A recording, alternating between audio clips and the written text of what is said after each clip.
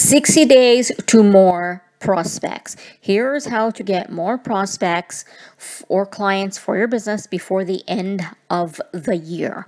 So you belong to some type of business association, whether that's an industry association, whether that's a chamber of commerce, a BNI group, an independent networking group, uh, maybe it's just a social media group, maybe it's a you know weekly networking that happens on Zoom or just an in in-person meetings. so it's not an official networking association but it's you know professionals that meet weekly find out how you can get promoted to their members what had happened is a few times I had seen something where they were promoting other people or sending out their information as a sponsor or sharing on their social media pages and so I had gone to the organizer and said, I see that you're promoting company XY and company YZ.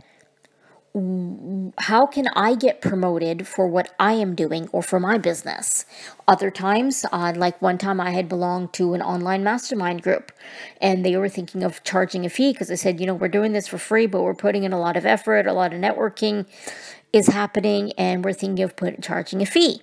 So I suggest that why not have a sponsor, whatever that sponsor's uh, cost would be. Keep it nominal to keep it fair to this being a small business. These are all small business owners, most of them independent and less than five employees. And that way they get to sponsor um, their company information is profiled. They get a couple of minutes, maybe three to five minutes, to give a short talk about their business, what they do, and what types of contents uh, clients, the prospective clients, are looking for. And this way, it helps the group stay free, be covered by the sponsor, and it also, you know, compensates the organizers for their time that they put into scheduling this and editing it and sharing it and you know promoting it. So what are some ways that your business association or networking group can promote you? Ask find out and you'd be surprised at how the extra exposure can help you drum up more business between now and the end of the year